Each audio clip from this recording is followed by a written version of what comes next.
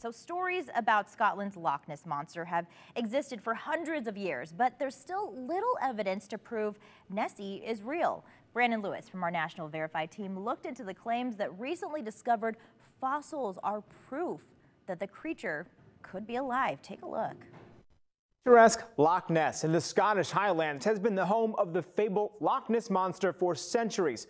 According to lore, Nessie is believed to be a reclusive plesiosaur, basically a giant swimming lizard with a long neck, sharp teeth, and flippers that should have gone extinct 66 million years ago.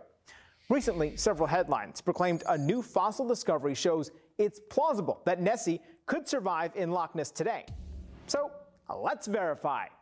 Did scientists say a fossil discovery means it's plausible the Loch Ness Monster is real? Our sources are press releases from the University of Bath and University of Portsmouth, a study published by paleontologists about their findings, and Nick Longrich, who co-authored the study. Plesiosaurs were thought to have lived in salt water, like oceans and seas.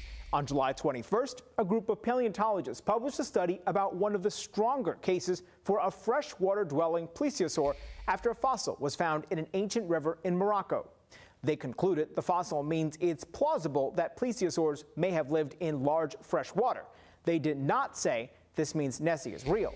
Longrich tells Verify, quote, the existence of a plesiosaur in Loch Ness is not probable or likely or even plausible.